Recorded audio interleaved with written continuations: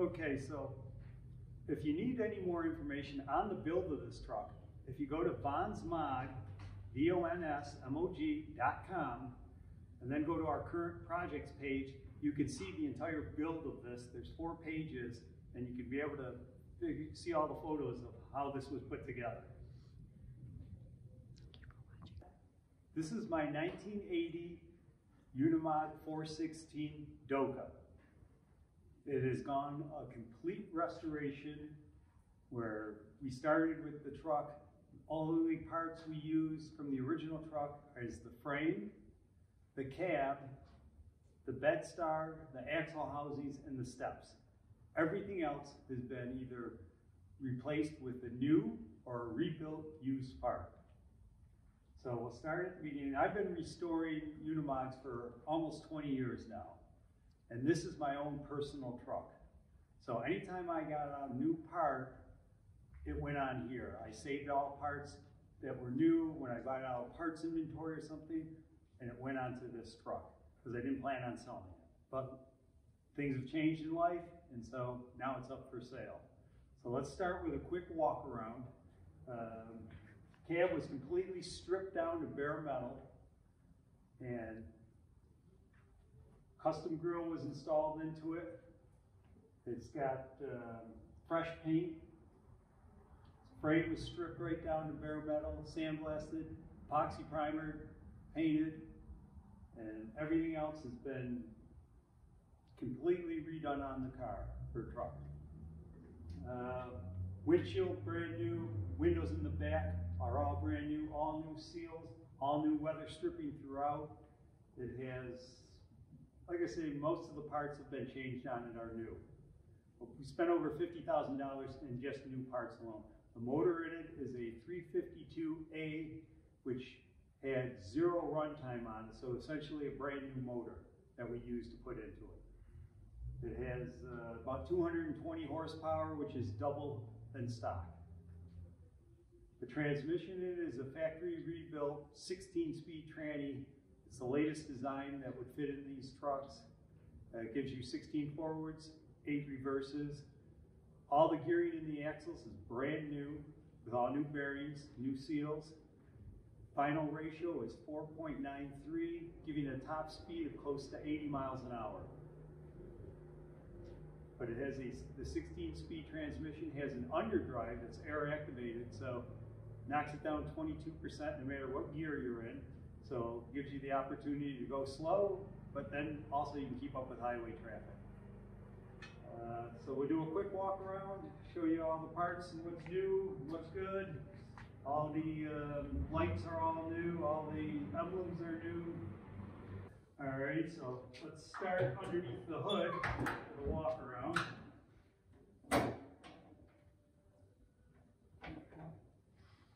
Truck has hydraulics in it, so it's got the, the front and rear winches are both hydraulics.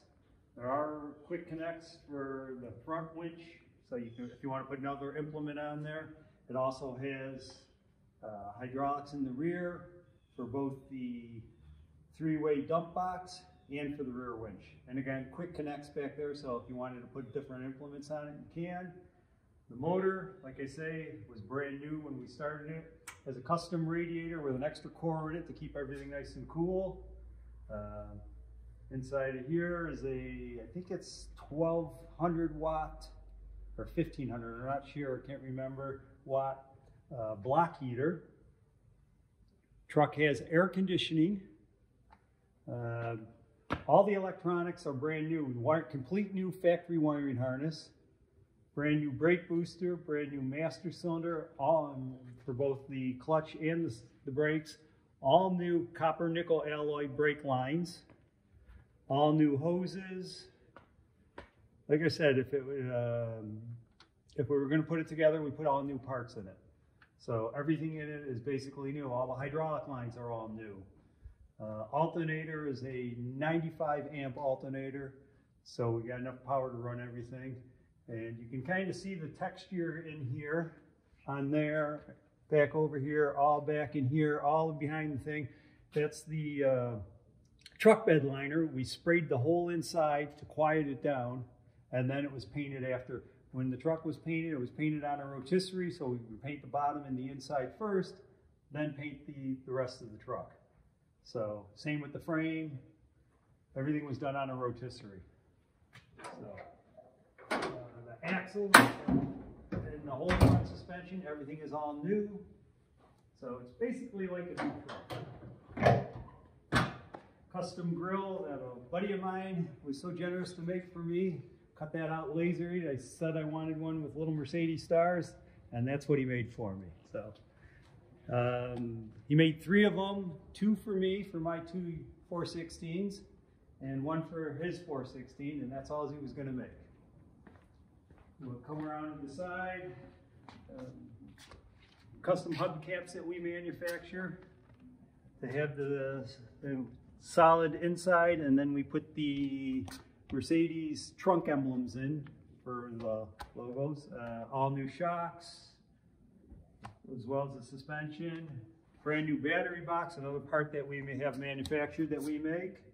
Air tank is brand new. All the air lines are brand new.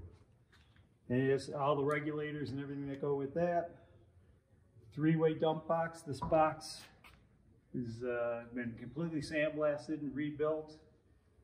The uh, sides will drop down and will tilt. And you can take them right off if you just slide it like this. You can take them right off. And put them right back on. Simple as that. Slide it back up and you're done.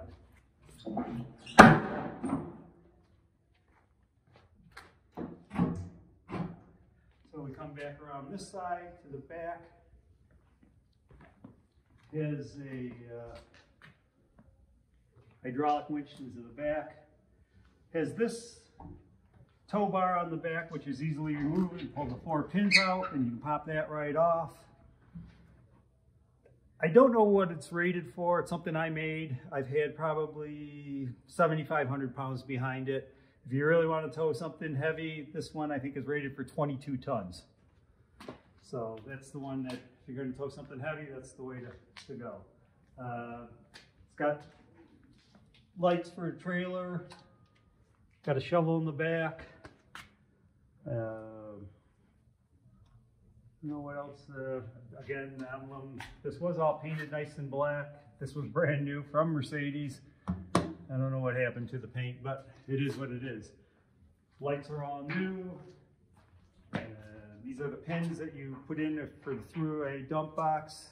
You mount the pins where you're on them right now. They're on this side, so when it goes up, it would dump this way. You want to dump it on the back, take this pin, put it on the other side of the back, it'll dump that way come around here. Here is your AC condenser is it back in here, as well as the radiator for the intercooler. It has an air to water intercooler. These are all new too as well. This is a alcohol for keep the lines from freezing. That's the air regulator. And the water dripping down right there coming out is from the air conditioning because I had the air conditioning on to drive over. Fuel tank is brand new, as well as the uh, sending unit. And you can see all the hardware is that holds this thing together is all new. I don't know how much I spent on hardware, but it was a lot. So all the hard. Okay, so all the door handles are brand new, and three of them have matching locks for keys. I didn't have any more than the three, but one key unlocks these this door, this door, and the driver's door. The passenger, the back door on the driver's side, I can reach my hand bound to unlock it and lock it, so I didn't do that one. But uh, all the mechanisms inside, the regulators, and all the stuff inside is all new. All the hardware is all new that holds the thing together. There's no rust in this truck at all. Uh, the door skins have all been replaced with door skins that we manufacture. So any rust that was on the truck has been cut out, removed, and then everything else has been replaced. And so it's basically like new. Okay, here we are inside. Um, all the switches are brand new. Even the blinker, the, the hydraulic controls are brand new.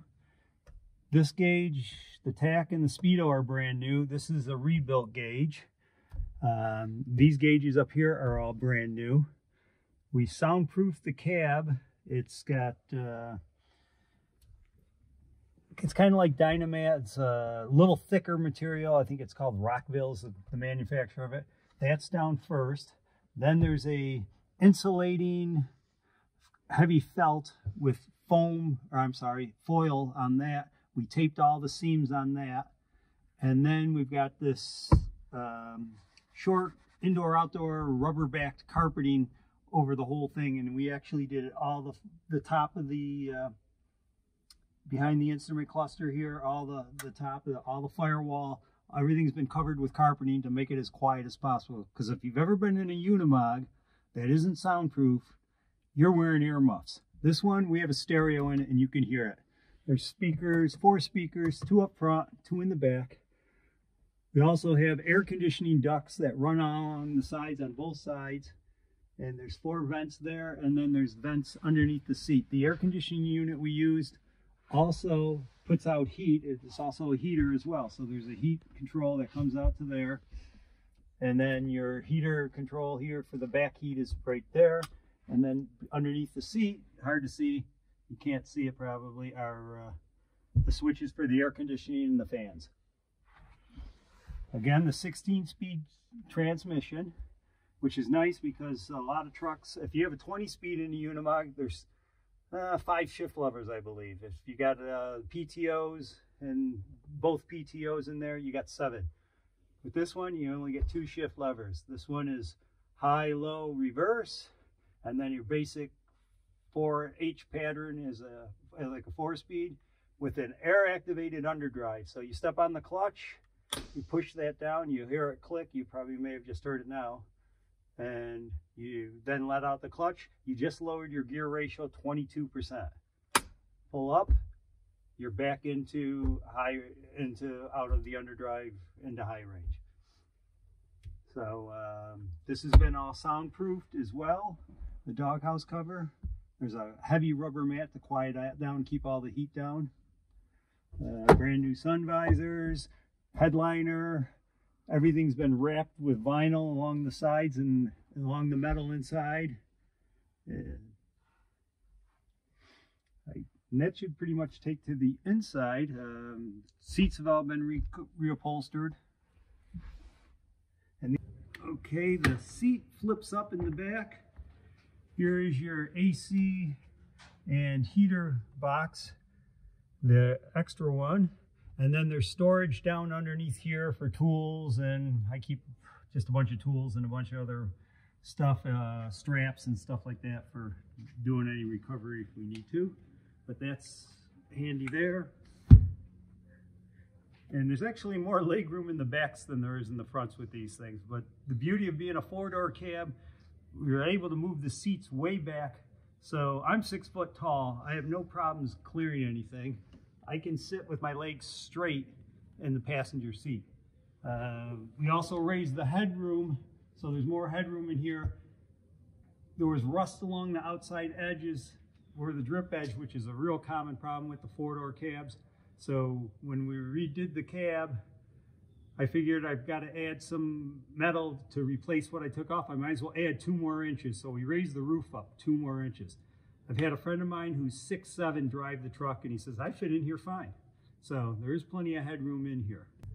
Okay, so if you need any more information on the build of this truck, if you go to vonsmog, V-O-N-S-M-O-G dot com, and then go to our current projects page, you can see the entire build of this. There's four pages, and you can be able to see all the photos of how this was put together.